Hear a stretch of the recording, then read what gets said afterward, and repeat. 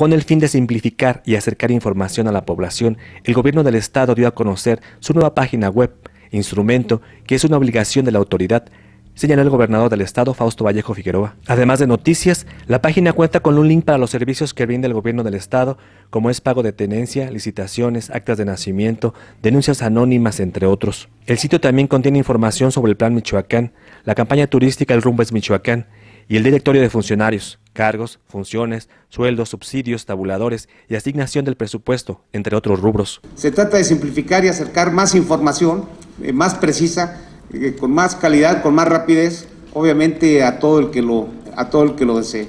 Eso no es un mérito, sino que es una obligación que la sociedad civil le exige cada día. El mandatario michoacano destacó que a través del portal se brinda un mejor acceso a la comunicación institucional. Y, bueno, pues lo de la página web simplemente eh, creo que es eh, una aportación más por simplificar, por ser sencillos y por estar más en contacto con la población.